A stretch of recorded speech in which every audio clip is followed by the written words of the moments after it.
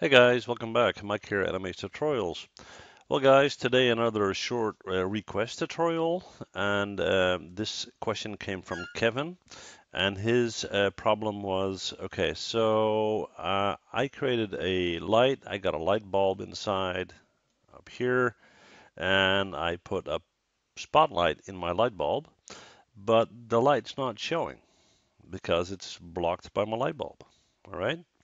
So I'll show you what I mean. I got this set up here and I'll just go to this view right here. And as you can see, I got a light bulb here. And inside my light bulb, I have a spotlight right there. Okay, and I'll just uh, deselect the rest. There we go. Okay, so that light is not showing up on my surface because it's inside my light bulb and it's blocking. All right, and I'll just prove that by doing a quick render. Make sure you're in mental ray. Render settings, mental ray, there we go. And just simply hit render. And as you can see, completely dark. Okay, so how do you fix that? Well, one thing you can do is get rid of your light bulb. but, you know, that's not always practical because maybe you just like it and want it and so forth. So the other thing you can do is light linking. Okay, so what is that? Light linking in Maya allows you to tell Maya what objects you want to have illuminated by what light sources. Okay, so what we can do with light linking here in this scene is say, okay, our spotlight that is inside this light bulb is allowed to illuminate everything with the exception of the light bulb itself. So it's going to disregard the light bulb and it's going to shine light down on our ground plane.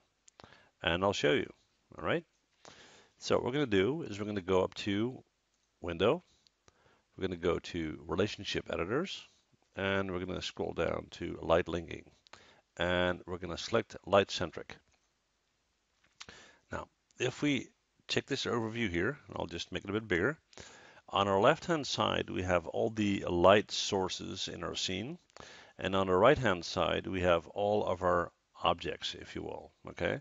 So right now, if I select my spotlight, I can see that all objects in my scene are selected, so everything is affected by my spotlight, okay? Now, I named my light bulb, light bulb, right there. So I'm going to control click that, and I'm telling Maya that my spotlight may not illuminate the light bulb and should disregard it, okay? Now, we're just going to minimize that, and we changed nothing else to the scene. So before we had no light at all, and now let's simply hit render again. And there you go. There's our light projected on the floor, okay?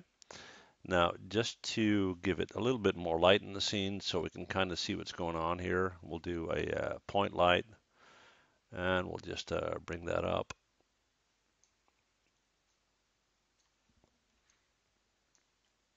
There it is. Okay. Just so the rest of our scene is not completely black. Okay. So let's try that again. And render. Okay, there you go. So you can see our light. You can see that the spotlight is projected on the floor. And if we were to go back to Window, Relationship Editor, Light Linking, Light Centric, select our spotlight and include light bulb, and then render again, we would see our light because of the point light we just created, but like I said, no light on the surface there. All right, so that's the basics of light linking. And Kevin, hopefully your question has been answered. Thank you guys for watching and love to see you guys again. Bye.